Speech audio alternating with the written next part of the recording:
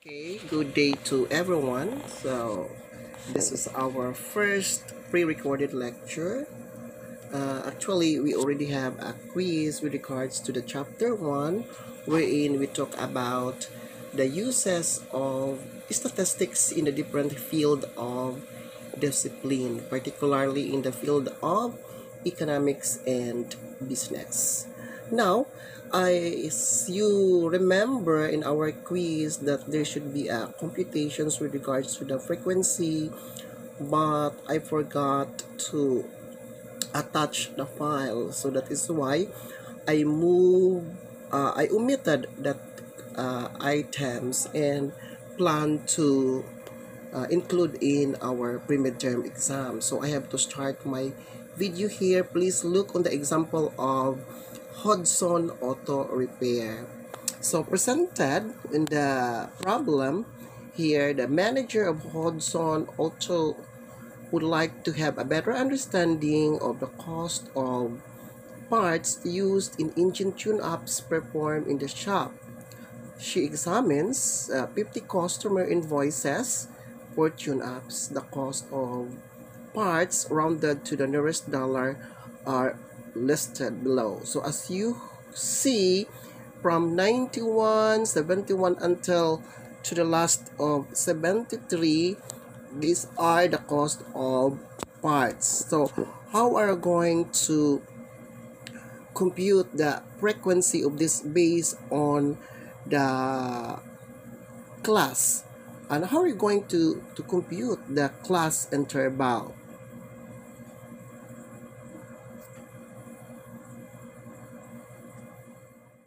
Okay, now we need to compute the, the frequency for the cost of parts. But first thing that you're going to do is to determine or to decide the number of classes. Let us say, for example, in our Hudson Auto Repair, the manager or the owner of the, the repair shop uh, conclude that uh, there must be uh, six number of classes from 50 to 59 until 100 to 109. How are you going to compute the interval or the range of each class? Therefore, what you're going to do is you need to determine the largest data value, the largest data value of the given cost of parts. So in our example, the largest data value here is uh, what do you think? Let us see. Is 100 109 number 109 109 yes. There is a 109 and 109 and the lowest is 50 okay? So what you're going to do is you need to subtract the smallest value from the largest value. So, the largest data value is 109 minus 50, which is the smallest data value, divided by the number of classes in which you have to decide which is uh, 6 based on our example. Okay? Based on our example, we have six classes 59 50 to 59 100 to 109 look at the raw data again. The highest make a review. The highest is 109 and the lowest is 50 look. By 50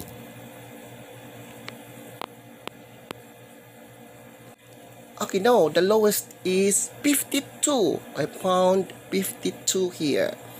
Okay, so 109 minus 52, then the difference should be divided by 6. The 6 is the number of classes.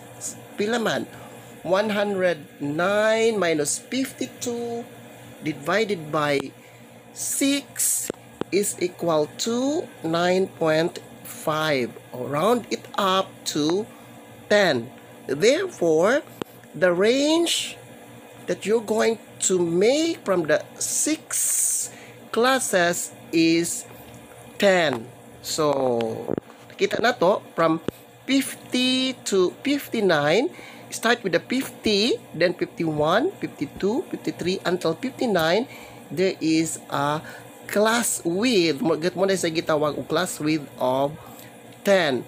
Ang anong start man ka og 50 nga ang pinaka lowest is uh, 52 man. So what I'm going to do here is you must have to start with the bottom here 100 to 109 from the highest which is 109 then count backward until 10 so mo na isang range is 100 to 109 then follow na ka 99 pila man ka kuan backward up to 10 90 then 89 80 then 79 70 69 60 59 tungod kay di man ka pwedeng 52 because the rest width is uh, 9 ang isang isang range. So dapat may uniform siya so you have to uh,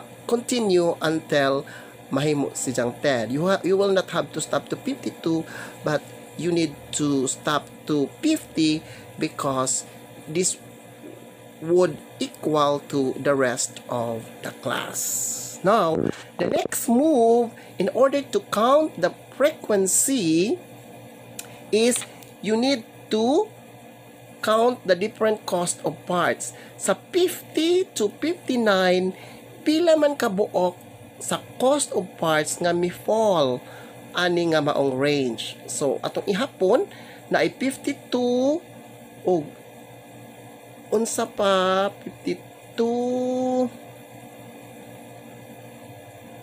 Oh, tabang tan-aw na 57. So duha.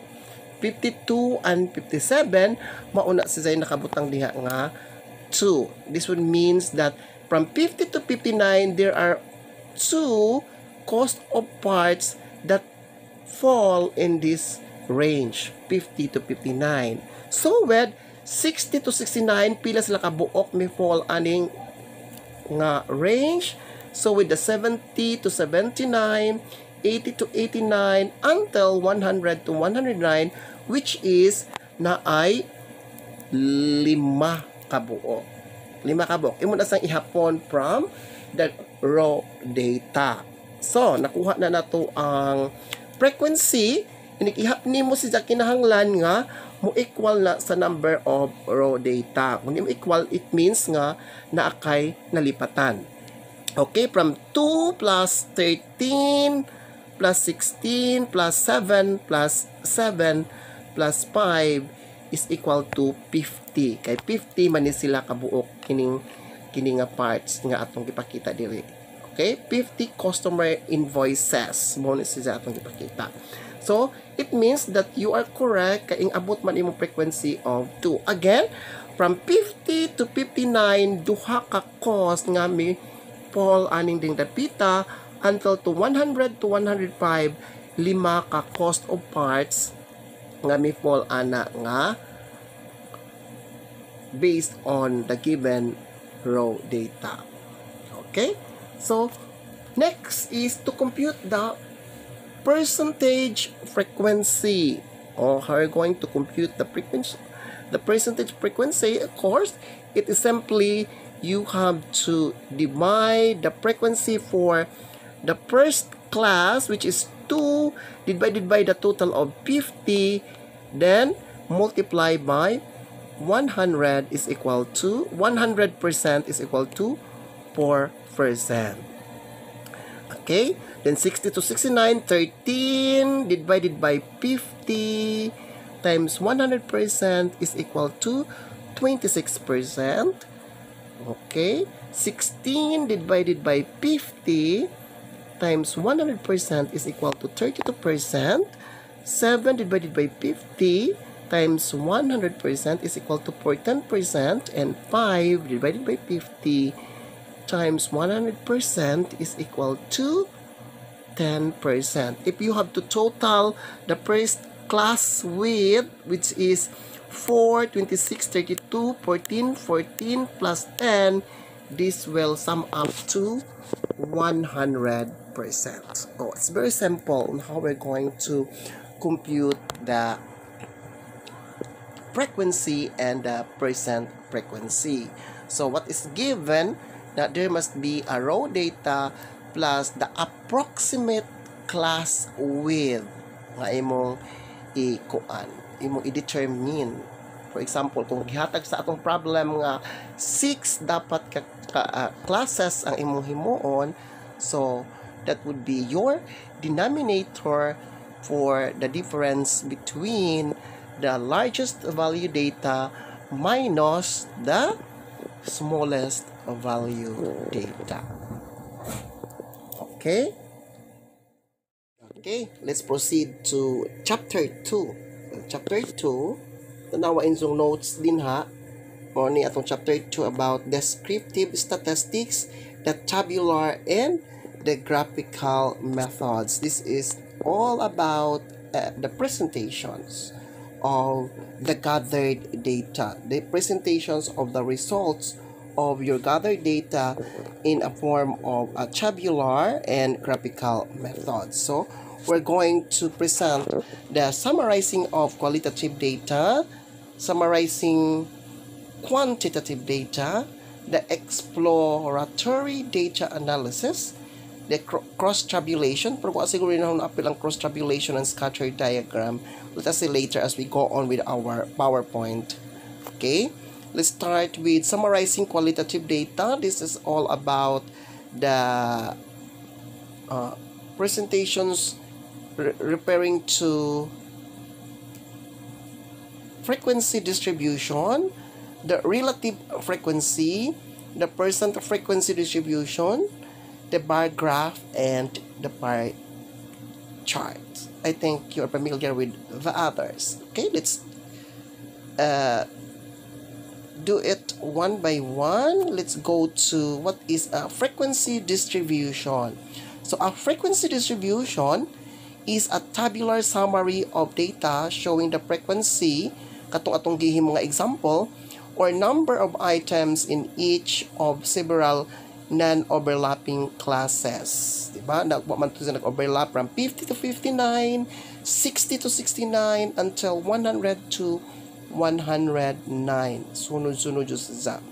And then, the objective of frequency distribution is to provide insights about the data that cannot be quickly obtained by looking only at the original data. Kung atong i-imagine, katong raw data atong natanaw nga 50 from 91 tagsa-tagsa ko 50 ka buok mas madugay. Whereas if we have a frequency distributions we have go directly to the total number of frequency for each category. So sa qualitative manta mingon ta nga mingon ta nga pila man ka buok ang pila ka buok frequency pila ka buok ang kuan nga has a poor rating mm, or below average. So, dali ra kaadyo na to ma-determine. Diretso na katanaw sa frequency. Ah, o sa 50 o sa 20 ka buok, usa ra excellent. Ngano man kaha?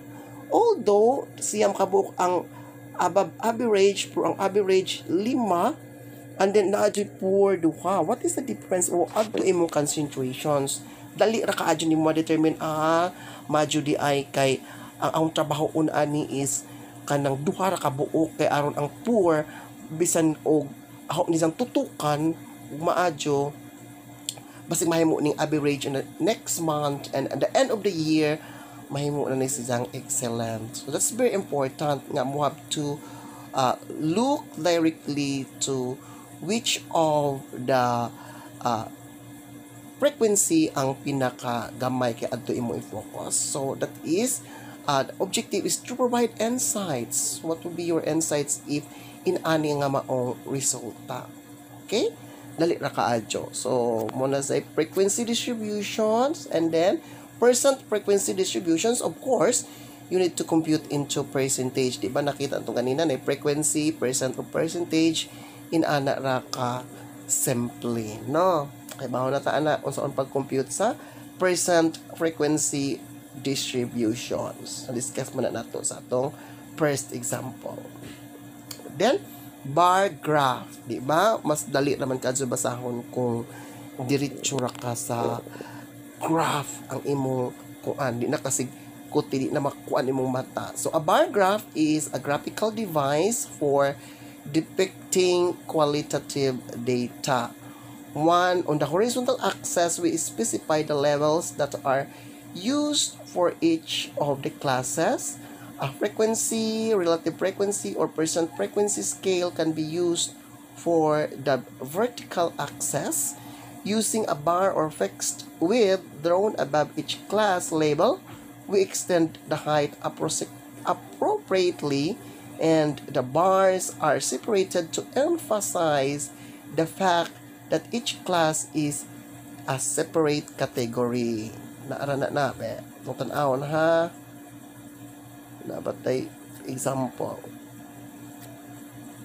Ulo na naara bar graph in ani ang hitsura. So sa atong presentations in a de, de, uh, uh, sa frequency sa poor di ba duha sa below average hay naman to nawa o below average o pinakabuk until napunta sa excellent nga usa mas dali rang imo pag uh, basa and then you can uh, immediately uh, give your insights with regards to the presentations di na gamo ang imong mata. So, inana ang bar graph. Then, pie chart. Diba? Kaya mo mo pie chart. The pie chart is commonly used graphical device for presenting relative frequency distributions for qualitative data. First, draw a circle, then use the relative frequencies to subdivide the circle into sectors that corresponds the relative frequency for each class. Since there are 360 degrees in a circle, a class with a relative frequency of 25% would consume 0.25 times 360 is equal to 90 degrees of the circle. Sa hitsura ani, watch out. In ana ang hitsura sa pie graph. Gibahin-bahin. Hmm, pila to kabuok. Poor. You have used the percentage in making or in presenting the pie graph. So, sa mas may nindot katong bar graph or pie chart. So, depende ra sa imong presentations. What is important nga masabtan siya.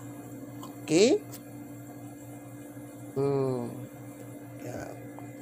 Dere, dere mga insights. Example na to ha Insights gained from preceding pie chart. One half of the customers surveyed gave Marada a quality rating of above average or excellent. Looking at the left side of the pie, this might please the manager. Hmm? Bitaw. No. Kung above average o ang excellent na aman siya sa katunga. no.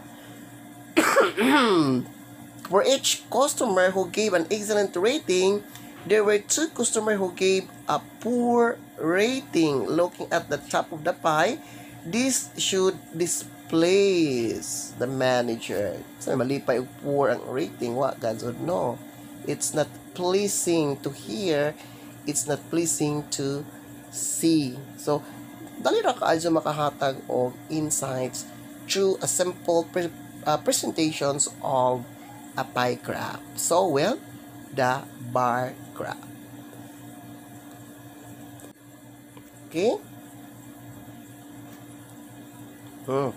Summarizing, let's proceed to summarizing quantitative data na kung naay naay frequency distribution si quali na pod si quanti na si the relative frequency and percent frequency distribution dot plot, histogram, cumulative distributions, and the ogive. Okay? Oh, na, na napod balik na po si Hodgson.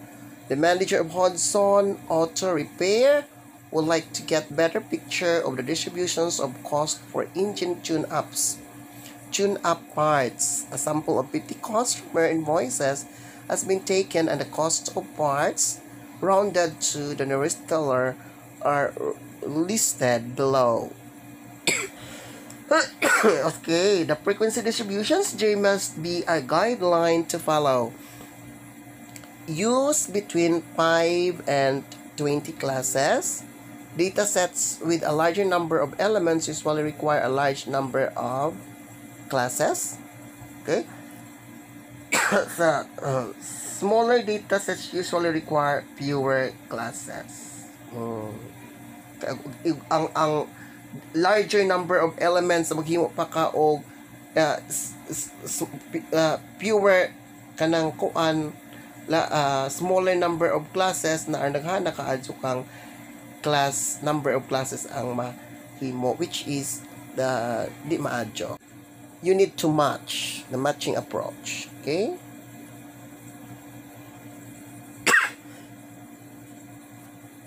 Okay, there are guidelines of selecting weight of classes na rahong giingon, largest data value minus the smallest data value divided by the number of classes. Okay?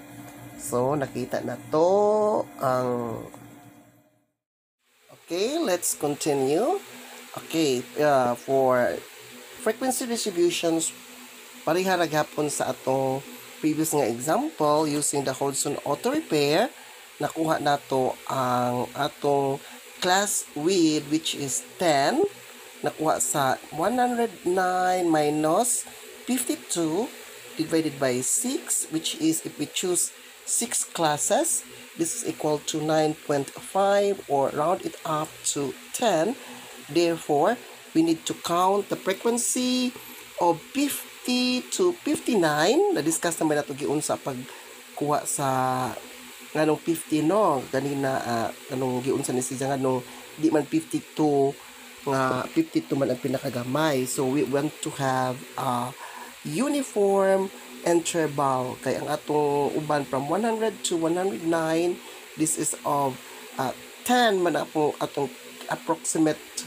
class width. Kinahanglan nga moabot og 10 ang 50 to 59 kay kung 52 to 59 wala man siya kaabot. og 10. So, therefore, using the Hodgson Auto Repair, from 50 to 59 ay frequency of 2, 60 to 69 ay frequency of 3, until 100 to 105 na frequency of 5, a total of 50. So, the same procedure na dyan ang frequency distributions of a quality and a quantity.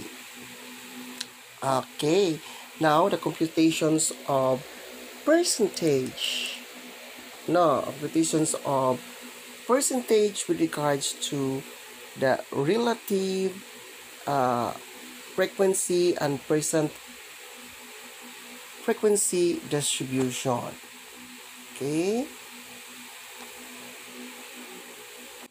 As you notice the column for relative frequency and the column for percent frequency, it is just the same only that in relative frequency, it is expressed in a decimal point, two decimal places, and in percent frequency, it is presented in a percentage. So, ang pagkuhaan ni sa 50 to 59, 2 divided by 10, uh, no, 2 divided by 50 times uh, 100 percent is equal to 4% for the present frequency.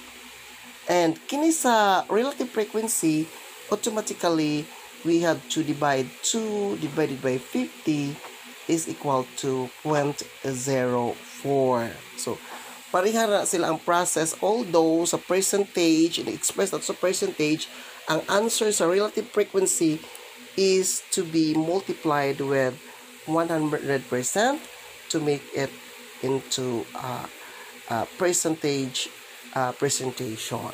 Okay? Ang karing usa, in a decimal point, ang usa in percentage. So, nakuha automatically ang frequency, number of frequency for each class mo imong numerator o ang imong denominator is the total number of frequency which is in our example the total number of frequency is 50 okay? So in ana ang paagi although sa percent frequency i-divide na to og 100% ang relative frequency aron ma-express na to into a percentage. Okay? Insights gained from the percent frequency distribution. So, atong nakita diri na only 4% of the parts cost are in the 50 to 59 class. No. So, 30% of the parts cost are under 70. Diba? Nakita na to ang uh, under 70 ang ang 30% makuha na to in between this one din na sa 69 62 69 and 72 79 that is our conclusion. So the greatest ang pinakadako the greatest percentage which is the 32% or almost one third of the parts are in the 70 to 79 class. However it only 10% of the part cost are $100 or more.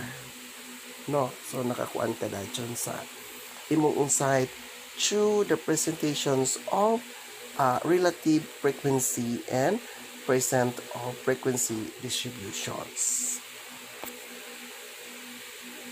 Okay. Um, that plot. So, maning that plot Tatplat ko no, one of the simplest graphical summaries of data is called dot plot. A horizontal, a horizontal axis shows the range of data values. Then each data value is represented by a dot placed above the axis. No? Naman diha. So, unsa ning sa ubos, makita nato ang ang cost which is uh, range from 50 to 100 and then imong i-determine kung pila ang frequency for its cost. Naman na, i-arrange naman to nimo ang kining dot kinahanglan mo abot ni sa og 50 ka buok. Ito nung tono ra nimo imong price. Ang 91, diyang dapita imong banabanaon, ang 94, ang 52 so inana maglaray si jang dang dapita so muna gitawag og dot plot i-plot ni mo in a form of dot ang different cost with regards to your spare parts sa atong example no mo say dot plot histogram okay we have to differentiate histogram from uh, bar graph. No, ganina nga. Another common graphical presentations of quantitative data is a histogram. The variable of interest is placed on the horizontal axis. A rectangular is a rectangle is drawn above each class interval with its height corresponding to the interval frequency, relative frequency, or percent frequency. Unlike a bar graph, A histogram has no natural separation between rectangles of adjacent classes. Ah, no, sikit-sikit si Zaf. Pareha raon tanis sa bar graph, although ang paragraph lagjo man, but for the histogram, nagsikit-sikit si Zaf. In this particular histogram, ang atong gigamit diri is the frequency and the cost of the part. Mas nit man tan kung in aning imong presentations. Ayun la, you know? Okay? Hmm. Napoy kitawag og cumulative distributions. Okay? Cumulative distributions uh, cumulative frequency distributions shows the number of items with values less than or equal to the upper limit of each class. Uh-huh. Uh, cumulative relative cumulative relative frequency distribution shows the proportion of items with values less than or equal to the upper limit of each class. Cumulative percent frequency distribution shows the percentage of item with uh, values less than or equal to the upper limit of each class. Okay, take note. Take note class, naghisgot diri og upper limit. Look in our example here, the cumulative distributions. Nakita mo less than or equal to 59, less than or equal to 69, less than or equal to 79, 89, 99, and 109. These are the upper limit. Diba? 50 to 59. The 59 is the upper limit. Therefore, the 50 is the lower limit. Kasi sa katawag. Oh. 50 to 59, 50 is the lower limit and 59 is the upper limit. 60 is the lower limit, 69 is the upper limit. So, ang gamiton sa cumulative distributions, we need to use only the upper limit represented by lesser than or equal to the upper limit. So, nakaibaw naman ta sa frequency for 50 to 59 is 2. No. 50 plus 59 is equal uh, uh, uh, the frequency is 2 and then ang frequency sa 60 to 69 is 13. Nganong 15 may nakabutang diha? Therefore 13 sa frequency of 69 to 60 to 69 plus the 2 maunang nahimong 15 imong i-add siya from the previous. Okay? So pila naman 2 plus 13 which is the frequency for 60 to 69 is equal to 15 okay?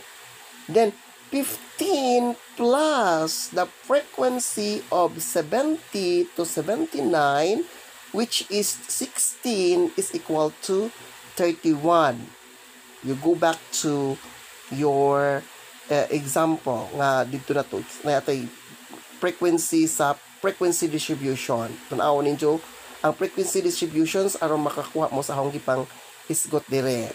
Again sa next is less than or equal to 89 is ang isang cumulative frequency is 38 because we add 31 plus 7 which is the frequency distributions for 80 to 89 is equal to 38 na kuha. And then 38 plus the frequency distribution of 90 to 99 which is 7 it's it is equal to 45 and the last one the frequency of 100 to 109 is uh, 5 45 plus 5 is equal to 50 therefore it's correct because our total raw data is 50 ng abot man ta diri sa katapusan nga less than uh, less than or equal to 189 nga abot ang atong cumulative frequency of 50. So ipang-add atong mga frequency from above, uh, frequency gikan sa 50 to 59, then i-add sa next frequency, ang next frequency na po sa next class until such time that we end up to the last class mao na to atong kinahanglan mo insakto sa total number of raw data. Okay? And then, nga rin na po ta sa cumulative relative frequency, the same procedure, although you are using it, uh, you are using the the relative frequency in a decimal point. The same procedure ipang-add ra gihapon. Balik mo sa inyong relative frequency example, balik ka dito, balikon,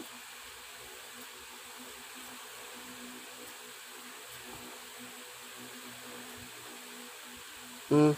Relative frequency example kana siya ang 0.04, 0.26, 0.32, 0.14, Aha, naman to.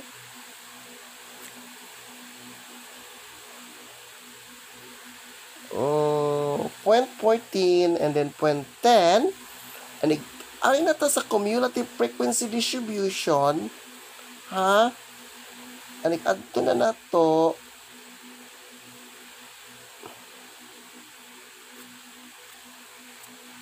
Okay. And ato na nato, ato na tong ipang add the same with the cumulative frequency. So sa first row, kining less than or equal to 59 nga cost is 0.04. Mamuti nag-una. No?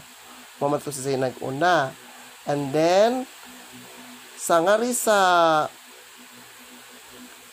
50 60 to 69, pila man to isang relative frequency. It is 0.26. Therefore, ang nakabutang sa lesser than or equal to 69, ang relative frequency, cumulative relative frequency is 0.04 plus 0.26 mo equal to 0.30. Kita na to ang 0.30, no? Okay?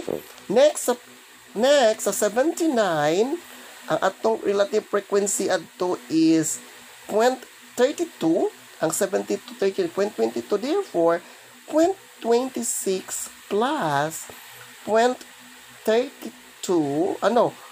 0.30 0.30 naman ano? 0.30 plus 0.32 ang relative frequency sa 70 to 79 is equal to 62 Okay? And then, the 62 plaza na po na sa og 0.14 which is the relative frequency of 80 to 89 balikan ninyo sa itong files nga gikuan ninyo. Mahimo na po si Zang 0.62 plus 0.14 is equal to 0.76 okay? Then 0.76 plus 0.14 again the relative frequency of 90 to 99 is equal to 0.90. Okay? Then 0.90 plus 0.10.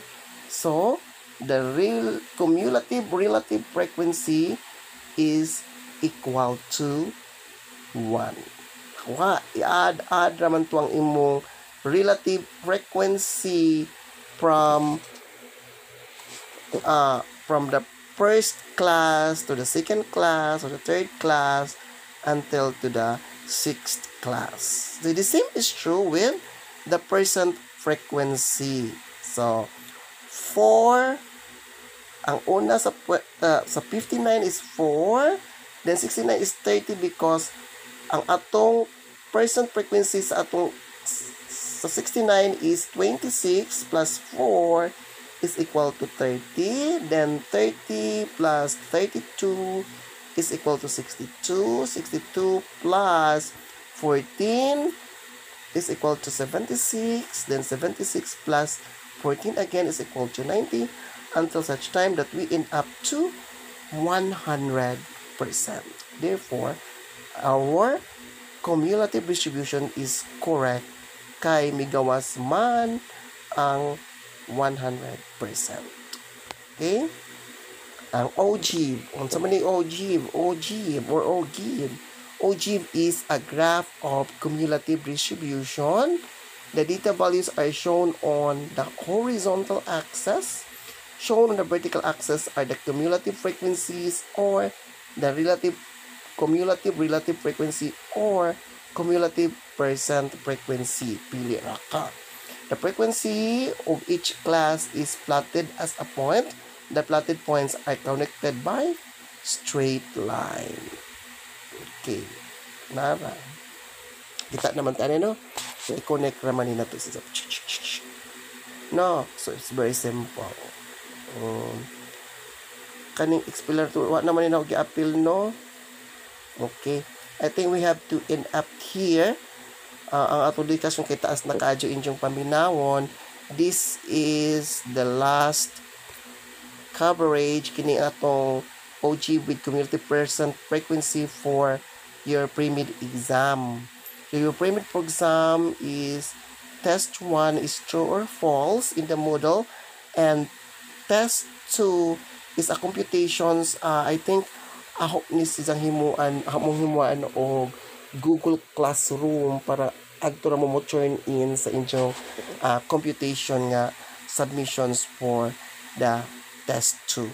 I think that would be all. So if you have questions, you must have to post your questions on our GC and wait for my further announcement with regards to the schedule of our exam for the part 1 and another announcement nga i, i butang sa inyong GC kung nakahimo na ko Google Classroom uh, you need to prepare a Gmail Gmail email ad.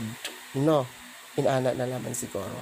Aron mas dali ni join in makita na og kinsay wa nakasubmit maka-check ra ko diretso. Kay sa email na na email in, in, in email si kuan karon di magkadungan. Whereas kung ato sa Google Classroom makit-an man jud ang time kung kanus amo nag-email. Okay? That would be all and thank